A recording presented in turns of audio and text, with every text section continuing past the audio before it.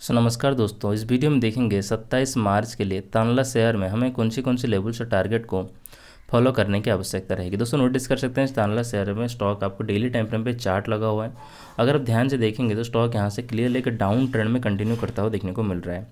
साथ साथ स्टॉक अपना ट्रेन को रेजिस्टेंस बना के नीचे आता हुआ देखने को मिल रहा है। जब ब्रेकआउट करेगा तो यहाँ से एक अच्छी मूवमेंट आपको ऊपर की साइड में देखने को मिलेगा। अभी अभी अगर नोटिस करेंगे स्टॉक यहाँ से अपना एक सपोर्ट लाइन को ब्रेक डाउन करके नीचे आया। अब वही सपोर्ट लाइन इसके लिए बन गया रेजिस्टेंस लाइन दूसरा रेजिस्टेंस 604 को फॉलो करना है। तीसरा रेजिस्टेंस फॉलो करना है सिक्स थ्री सिक्स का राइट उसके बाद आपको फॉलो करना चाहिए यहाँ पे छः सौ तिरपन। दोस्तों, इन्हीं लेवल्स पे ध्यान रखें। वीडियो अच्छा लगे तो लाइक करके चैनल को सब्सक्राइब कर दीजिए।